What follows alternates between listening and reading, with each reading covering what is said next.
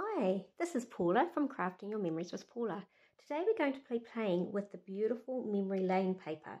I have got some fun photos to share of my children having an awesome time at Rainbow's End in Auckland, New Zealand. It's one of those places that has lots of roller coasters and spinny rides and things that are a little bit, bit, bit hairy for me, but the children absolutely love it. So my husband took them there while I was busy at an expo and I've got some fun photos to use. So this paper range I'm going to be pulling on has got really lovely, delightful bright shades to it. It's a special out just for this month and last month, so at the end of August it will be leaving us. Um, so I thought it was about time we started playing with it. So as you can see, there is a whole heap of papers in the range, lots of different patterns and designs, and there is um, oranges, blues, yellows, um, melons um, and greens in the cardstock range. There is also a sticker sheet if you like to have um, some easy embellishing options and a gorgeous little stamp set that's got some fun little sentiments that you can use to embellish with. So I'm going to concentrate on this um, part of the paperway. So there's this gorgeous piece here that's got quite a um, graduation of colours and on the back is this really lovely stripe. So as I say, we um, the kids went to Rainbow's End, and it is a fun, fun, bright place. And as you can see with the um, front entrance of Rainbow's End, it has all the colours of the rainbow. So that's where I came to um, grabbing this paper away, thinking this could work really well. So I hope you enjoy watching how I, this um, layout comes together. It might get you a little inspired. Pop along to my website at um, paulasimmons.closetomyheart.co.nz if you'd like to find out more about the memory lane range. So, getting started, this stripy paper is definitely got the right vibe, but it's certainly too busy for this photo to be all over the top of it.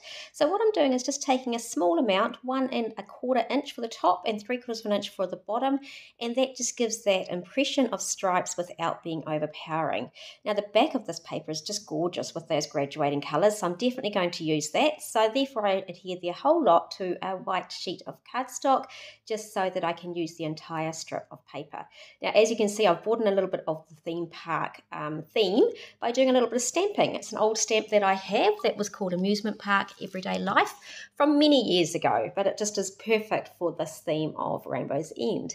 So now I'm going to pull in colours, and it's all about the photos here. So I've got this beautiful orange, which is our nectarine.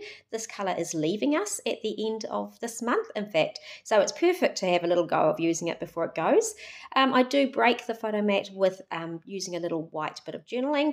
I pull in the yellow, which is honey butter, and black, and then I also bought in our new colour of the year, Journey, which is pretty fabulous. It pulls in a bit of the blue that is missing from the background paper. So I go off now and I start to make some embellishments. Now here's a sage, that's the green that's in the kit. I'm adding a little bit of the journey colour, just splotching it all over, and then I go off and cut some of those beautiful die cut leaves from our sprigs and leaves um, thin cut. I also use another thin cut to create a few swirls on, and then I also create some embellishments with embossing powders. One's using the black archival pigment and clear embossing, and the other one is using the VersaMark and white embossing. And I actually made quite a few embellishments that way to add a bit of shine and shimmer, and it also makes those sentiments stand out even more beautifully.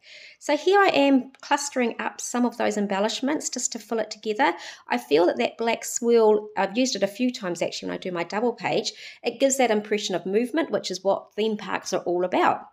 So you can see on the right hand side, I've made a few more embellishment clusters and I've stamped from the memory lane stamp the word so much fun down the bottom and it stands out beautifully in the white embossing powder. So to finish off, I use all some of my new journey accents. I'm doing some of the dots which have hearts and stars and circle shapes to them. And then I'm pulling out the beautiful sequins that come with the um, journey range as well and I start to place them all over. Now the sequins are gorgeous because they have all variety of shades of blues and they've got even got some whites in there. Some are more shiny than others so it's just a really good mix and combo to work with. So as you can see this page has come together beautifully. It was all inspired by that piece of paper and how it worked with the stripes of our title Rainbow's End and I'm really pleased with the end effect. I hope you've enjoyed watching it being put together. Thanks for watching.